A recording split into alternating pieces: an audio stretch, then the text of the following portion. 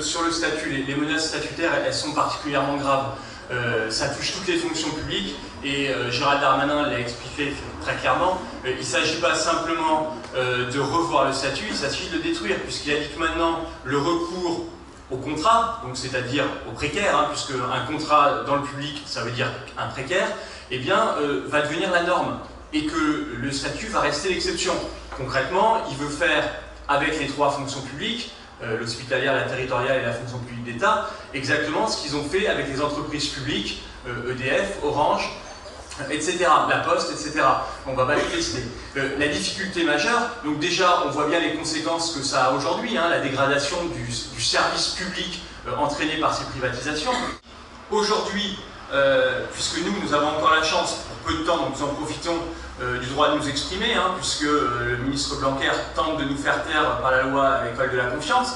Mais tant qu'on a le droit de s'exprimer aujourd'hui, eh bien, euh, la neutralité nous permet de nous exprimer tout en préservant l'anonymat des élèves que nous avons, des résultats qu'ils ont, et, c'est une garantie pour l'avenir. Si on embauche des précaires et des contractuels, qui va garantir cette neutralité?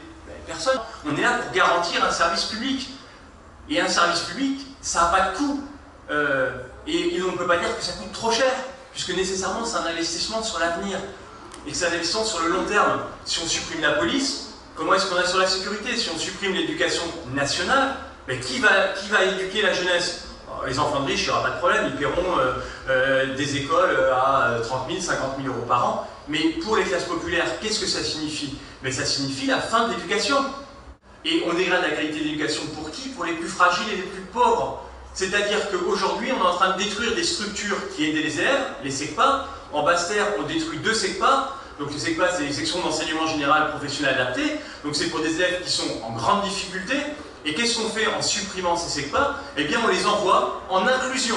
Ça, c'est le mot magnifique, c'est l'inclusion. Sauf que les enseignants ne sont pas formés, ils n'ont pas d'aide euh, pour euh, les aider. Et donc, ça veut dire qu'on abandonne des jeunes parce que c'est les jeunes qui sont abandonnés, à un échec certain.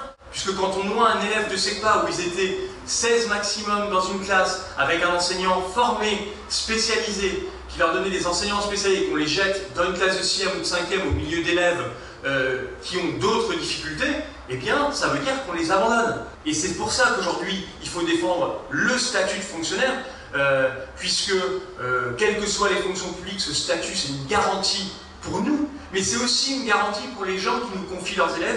On tape sur les plus pauvres, on tape sur les plus en difficulté et on crée de la précarité délibérément.